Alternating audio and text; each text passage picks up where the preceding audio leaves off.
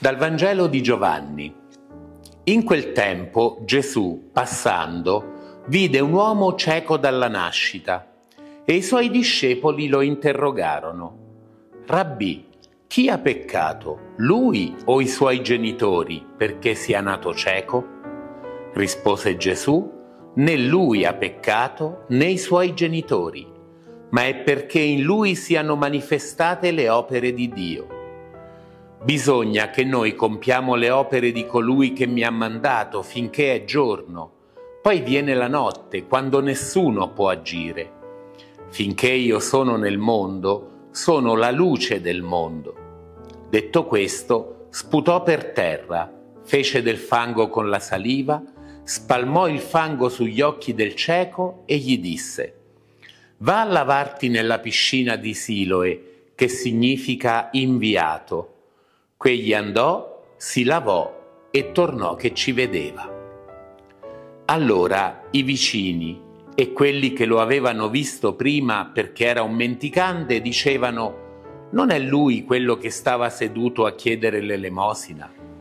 Alcuni dicevano è lui, altri dicevano no, ma è uno che gli assomiglia.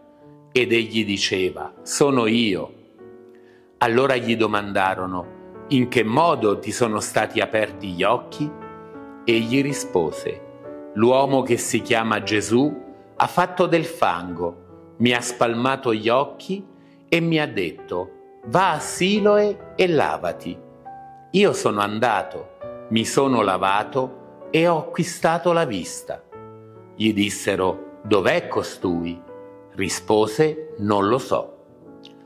Condussero dai farisei quello che era stato cieco. Era un sabato, il giorno in cui Gesù aveva fatto del fango e gli aveva aperto gli occhi. Anche i farisei dunque gli chiesero di nuovo come aveva acquistato la vista ed egli disse loro, mi ha messo del fango sugli occhi, mi sono lavato e ci vedo. Allora alcuni dei farisei dicevano, quest'uomo non viene da Dio perché non osserva il sabato.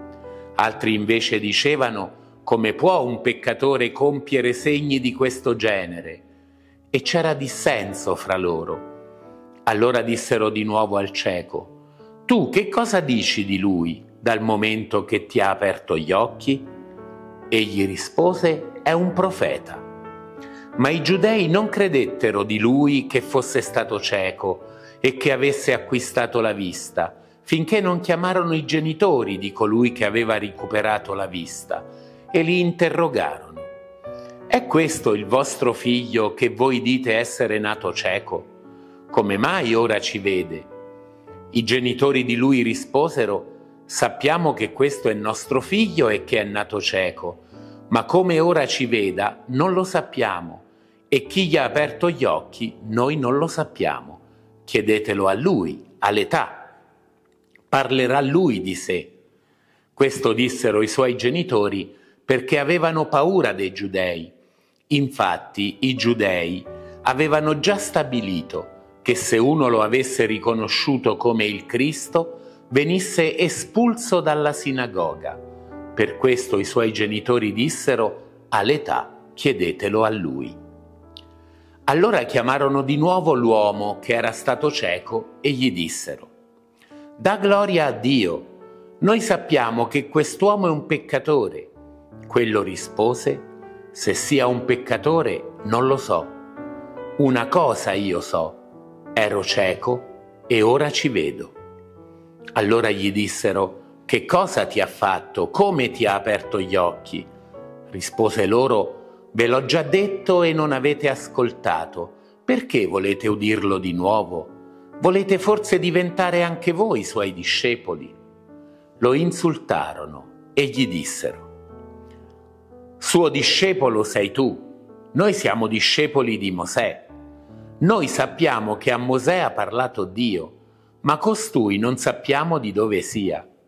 Rispose loro quell'uomo, proprio questo stupisce, che voi non sapete di dove sia, eppure mi ha aperto gli occhi.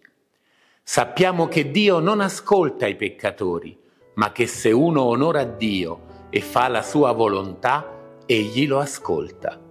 Da che mondo è mondo non si è mai sentito dire che uno abbia aperto gli occhi a un cieco nato.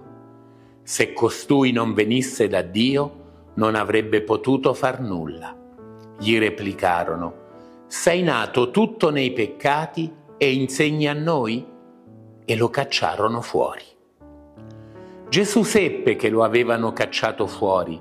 Quando lo trovò gli disse, tu credi nel figlio dell'uomo? Egli rispose, e chi è, Signore, perché io creda in lui? Gli disse Gesù, lo hai visto è colui che parla con te. Ed egli disse, credo, Signore, e si, pros- e si prostrò dinanzi a lui.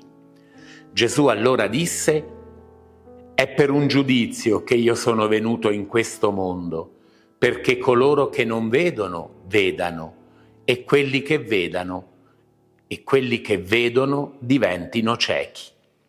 Alcuni dei farisei che erano con lui udirono queste parole e gli dissero, siamo ciechi anche noi? Gesù rispose loro, se foste ciechi non avreste alcun peccato, ma siccome dite noi vediamo, il vostro peccato rimane. Sorelle e fratelli carissimi, siamo arrivati alla quarta domenica di Quaresima, la domenica della gioia, e protagonista del Vangelo di questa domenica è un cieco nato che Gesù guarisce. Come domenica scorsa Gesù si era proposto come l'acqua viva che disseta ogni sete del nostro cuore, così oggi si presenta come la luce del mondo. Per questo motivo, proprio perché c'è un cieco che viene guarito, la buona novella vi raggiunge dalle stanze del Museo Diocesano di Lanciano, dove è depositato il quadro che vedete alle mie spalle, che raffigura appunto la guarigione di un cieco da parte di Gesù e che appartiene al patrimonio della parrocchia di San Nicola ed è qui per essere restaurato. Questa guarigione miracolosa che Gesù realizza nei confronti del cieco ha come contesto la festa delle capanne e il Tempio. La festa delle capanne, insieme con la festa di Pasqua e la festa di Pentecoste, era la più importante per gli ebrei. Arrivava nell'autunno, al termine della stagione agricola, dopo la vendemmia, ed era un'occasione per ringraziare il Signore dei frutti che la stagione aveva prodotto. Nello stesso tempo era anche un'occasione per ricordare il percorso di libertà che il popolo degli ebrei aveva fatto dall'Egitto alla terra promessa attraversando il deserto, ricordando appunto le tende, le capanne che gli ebrei avevano utilizzato nei 40 anni di questo tragitto. Questa festa era connotata da due caratteristiche fondamentali, la liturgia dell'acqua e la celebrazione della luce. Ogni mattina il sacerdote partiva dal Tempio di Gerusalemme, percorreva una strada che lo portava proprio alla piscina di Siloe, quella dove Gesù aveva mandato il cieco perché si lavasse e potesse essere guarito. Questa piscina era molto grande, circa 4.000 metri quadrati, e aveva una caratteristica. L'acqua che in essa si trovava era un'acqua che proveniva direttamente da una sorgente, la sorgente del Ghion, che attraverso un tunnel di 530 metri giungeva direttamente alla piscina.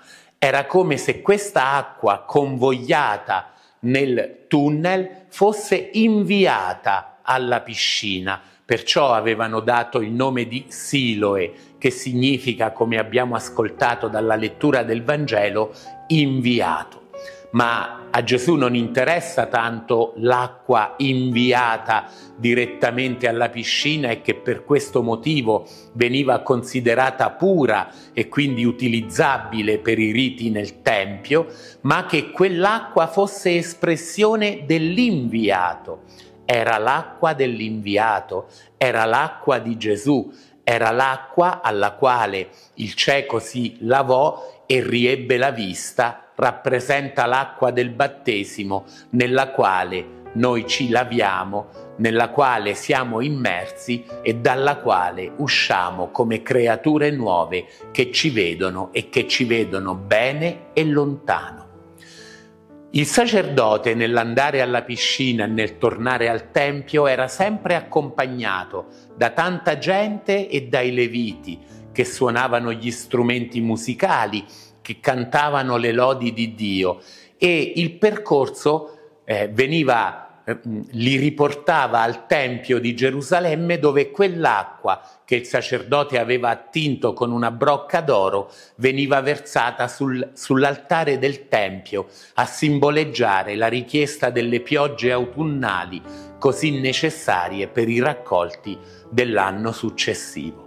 Insieme con l'acqua, come vi accennavo, protagonista è la luce Tutta Gerusalemme splendeva di luce in quei sette giorni della festa delle capanne. Le luci, le fiaccole, le torce erano ovunque. Quattro davvero gigantesche, immense, erano anche nell'atrio delle donne, all'interno del Tempio di Gerusalemme. E questo stava a simboleggiare la luce di Dio, sta a simboleggiare per noi la luce di Cristo, che come già Zaccaria, il papà di San Giovanni Battista, disse nel suo inno, è come sole che sorge per rischiarare quelli che stanno nelle tenebre e nell'ombra di morte, o come Giovanni Evangelista dice nel prologo, è venuta nel mondo la luce vera, quella che illumina ogni uomo. Questa luce veniva portata anche agli ammalati e anche a coloro che erano nel lutto, perché la luce del Signore doveva raggiungere ogni luogo, ogni situazione, ogni persona, non solo chi stava bene, ma anche chi era nella sofferenza per la malattia o appunto per la morte.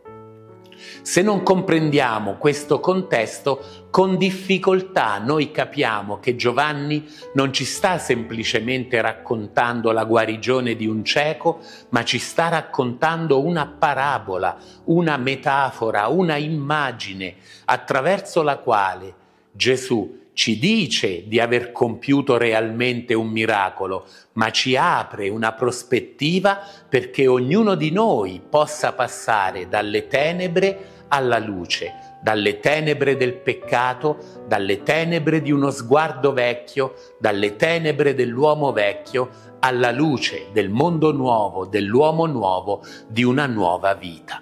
E tutti i gesti che Gesù compie, tutte le parole che si succedono in questo racconto, tutto serve perché possiamo comprendere la necessità di questo passaggio.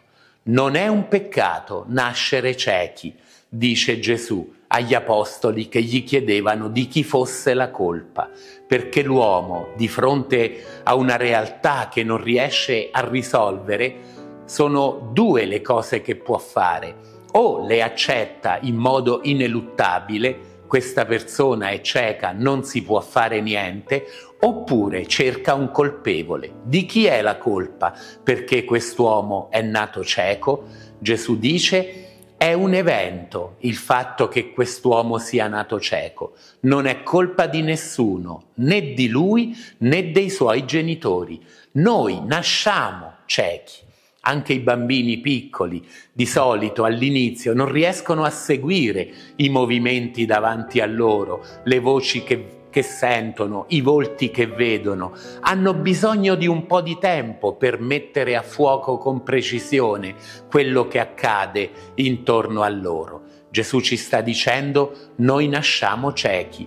Noi nasciamo schiavi delle passioni, noi nasciamo con lo sguardo rivolto in basso, la guarigione che Gesù opera ci permette di guardare in alto, di alzare i nostri occhi, di vedere la luce e di avere una vita da illuminati, come erano i battezzati dopo aver ricevuto questo sacramento, come ciascuno di noi è diventato dopo aver ricevuto il sacramento del battesimo e il dono dello Spirito Santo. Allora immergiamoci in questo percorso, iniziamo insieme con l'Evangelista Giovanni il cammino che egli vuole farci fare guidati da questo cieco che ormai è un ex cieco che adesso ci vede e attraverso i vari passaggi noi comprenderemo ciò che il Signore ci chiede. Questo verbo vedere è un verbo davvero con una miriade di significati che noi usiamo in moltissimi modi. Ad esempio, se dobbiamo mettere in guardia qualcuno, diciamo apri gli occhi, ti possono imbrogliare specialmente attraverso tante frodi telematiche, informatiche di cui oggi possiamo essere attentati. Questa attenzione ad aprire gli occhi è molto importante. Oppure quando uno è troppo ottimista, quando uno è troppo ingenuo, noi diciamo che vede tutto rosa. Al contrario, quando uno è pessimista, noi diciamo che vede tutto nero. Quando noi abbiamo di fronte a noi una persona particolarmente avara, particolarmente attenta al denaro, diciamo vede solo i soldi. E quando invece davanti a noi vediamo una persona intelligente, una persona perspicace, noi diciamo vede lontano. Ecco, il Signore vuole che noi oggi vediamo lontano, vediamo cosa c'è dietro l'apparenza, dietro la superficie, vuole che noi vediamo la sostanza delle cose, la sostanza della nostra realtà di persone, la sostanza dell'identità stessa di Dio. Vuole Gesù che noi, come questo cieco, apriamo gli occhi. Ma abbiamo bisogno di una nuova creazione. Gesù infatti a questo cieco spalma un po' di fango che aveva fatto con la sua saliva, che era il condensato del suo spirito secondo la mentalità degli antichi, e lo guarisce, mandandolo però alla piscina di Siloe, inviandolo alla piscina dell'inviato, perché da Gesù egli potesse essere guarito. Ma questo significa che l'uomo ha dovuto fare un atto di fede, ha dovuto fidarsi di Gesù, ha dovuto mettere la sua vita nelle mani di Gesù per poter avere il dono di questo miracolo. Avrebbe potuto dirgli di no, avrebbe potuto dirgli ma chi sei? Non ti conosco. Invece si fida, si affida, fa quello che Gesù, che lui non conosceva, gli aveva detto di fare e ci vede la nuova creazione. Questo cieco guarito rappresenta l'umanità che può essere creata di nuovo, che può diventare nuova creatura. La cosa strana è che proprio una volta guarito questo cieco comincia ad avere delle difficoltà. Finché le cose andavano come sempre, finché lui stava gettato ai bordi di una strada, seduto a chiedere l'elemosina, sembrava non desse fastidio a nessuno. Adesso che ha gli occhi per vedere, adesso che ha acquistato una nuova autonomia, adesso che può muoversi liberamente, sembra dar fastidio a tutti. Viene addirittura denunciato alle autorità religiose, agli scribi e ai farisei, i quali cominciano una serie di interrogatori che permettono a questo cieco di fare dei passi in avanti sulla strada che Gesù gli aveva indicato. Infatti, come abbiamo ascoltato all'inizio, questo cieco non sa chi è Gesù, non sa nulla di lui, poi intuisce che è un profeta poi fa la sua professione in Gesù come figlio dell'uomo, come figlio di Dio, come uomo perfettamente riuscito, come uomo perfettamente realizzato, come uomo nuovo ad immagine del quale ognuno di noi deve vivere. Quindi paradossalmente i nemici di Gesù, coloro che non volevano riconoscere la verità, che negano l'evidenza di fronte a questo cieco guarito, sono coloro che aiutano questo cieco a fare tutto il percorso della fede, a terminare il, il percorso che lo porta ad essere una nuova creatura. Interrogano perfino i genitori che nell'Israele di un tempo erano i depositari della tradizione, coloro che dovevano inculcare nei figli i valori dei padri. E loro dicono, noi non c'entriamo niente. Noi abbiamo fatto nascere questo uomo e quando lui è nato era cieco, ma da dove gli viene questa luce noi non lo sappiamo. E dicono così perché avevano paura, paura di essere scacciati dalla sinagoga. Essere scacciati dalla sinagoga, dalla società religiosa di quel tempo, aveva delle conseguenze sociali gravissime. Si perdeva il diritto all'eredità, si perdeva facilmente il lavoro, non si veniva più riconosciuti come membri di quella società, di quella comunità e quindi si viveva da isolati e loro non volevano correre questo rischio, addirittura negano che quello era un figlio guarito dicendo noi non sappiamo come è successo, lui è grande, ha l'età, chiedetelo direttamente a lui e loro vanno a chiederlo e glielo chiedono più volte e proprio in questo modo, come già accennavo, aiutano questo cieco a diventare un uomo consapevole di sé, sempre più libero. Parte dal non sapere, come diceva il buon vecchio Socrate, io so di non sapere, non sa chi era quell'uomo, non sa da dove veniva, non sa niente di lui, ma man mano acquista consapevolezza, man mano diventa più libero, man mano diventa più uomo, man mano diventa più realizzato, man mano esprime un coraggio che nemmeno credeva di avere, una libertà che non aveva mai sperimentato lasciamoci aprire anche noi gli occhi da Dio e faremo lo stesso percorso che questo cieco, poi guarito, ha fatto. Anche noi non abbiamo responsabilità se all'inizio siamo ciechi. Anche noi non commettiamo peccato se diciamo di non sapere, ma dobbiamo affidarci al Signore come questo cieco eh, ha fatto e anche noi sperimenteremo l'apertura dei nostri occhi, vedremo le cose come le vede Dio, scopriremo il senso della nostra esistenza, da dove veniamo, perché viviamo, verso dove stiamo andando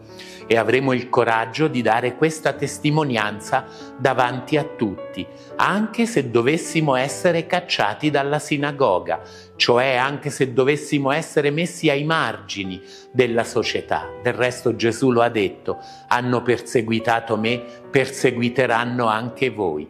Se voi siete miei discepoli, farete la stessa fine che ho fatto io.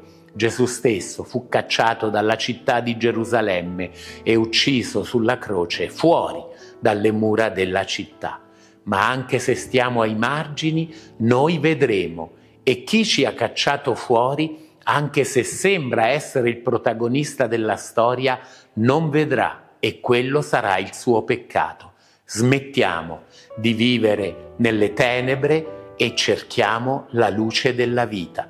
Non commettiamo l'errore di quei farisei e di quegli scribi che la luce venne nel mondo, ma loro hanno preferito le tenebre alla luce abbracciamo la luce e alla luce del Signore avremo una vita pienamente umana, avremo una vita pienamente cristiana, da veri figli di Dio, da fratelli e sorelle fra noi.